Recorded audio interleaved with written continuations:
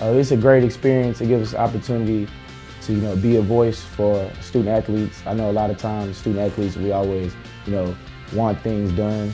You know not only for our sport but for the community and for our university. And it actually gives us opportunity to speak to administrators, you know, in private, to talk about you know things that as a whole, as a collective student athlete body that we want to get done on campus.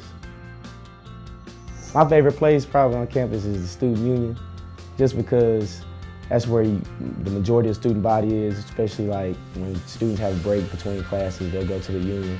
So it just gives you opportunity to hang out, you know, with people that, because most of the time, especially during season, we're you know, with our teammates, so it gives a chance for me and my teammates just to hang out with you know, the rest of students on campus and just gives you that real college feeling on campus. My father is my mentor because he's accomplished things I want to accomplish in his life. And I could talk to him about anything. He's been there for me ever since I was born. And I go to him whenever I need something or whenever I just want to talk. I can go to him and he always has the answers that lead me in the right direction.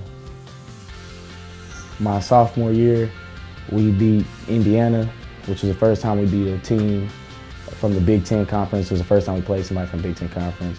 And it was our first win in our new stadium. So Salvation Army was the, is the community service project that comes to mind because we were out there for about three, four hours a time, ringing the bells, just trying to get donations. And it gave us a, a great opportunity to not only, you know, greet people and raise, on, raise money for the Salvation Army, but also gave us the opportunity to talk to people that live in our community and just, you know, get out there and have contact with our fans. Twitter and Instagram, that's what I've, I've been on. My last post was actually about SAAC. About back here, about community service. What we was able to do on, uh, I posted a picture of all of us on Instagram about how, how we were able to come together at the North Texas Food Bank and fed over 10,000 people. Zach Orr, North Texas Football, and you're watching Conference USA Digital Network.